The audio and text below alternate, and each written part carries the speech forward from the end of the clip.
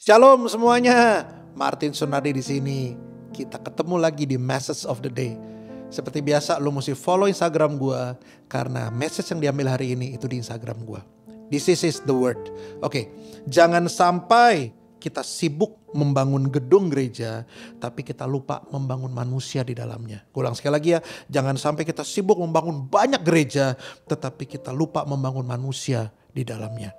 Kitab Matius 16 ayat 18 ngomong begini. Dan aku pun berkata kepadamu, engkau adalah Petrus dan di atas batu karang ini aku, akunya besar berarti Tuhan akan mendirikan jemaatku. Jemaatku artinya apa saudara-saudara? Jemaatnya Tuhan. Dan alam maut tidak akan menguasainya. Dengar baik, kata gereja pertama kali disebutkan dalam Injil Matius itu pasal 16. Kata jemaat dalam ayat 18 yang ada dalam bahasa Inggris adalah church diterjemahkan dari bahasa Yunani which is ecclesia yang artinya panggilan keluar. Jadi arti gereja tidak berhubungan dengan bangunan tetapi orangnya.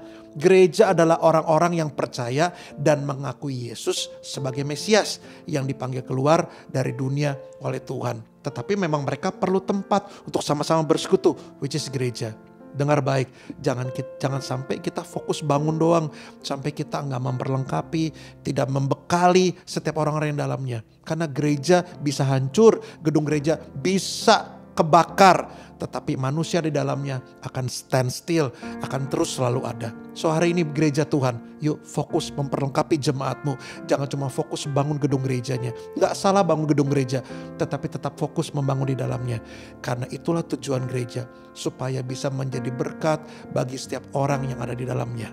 Amen. This is the message for today. I hope you got blessed by the message. God bless you.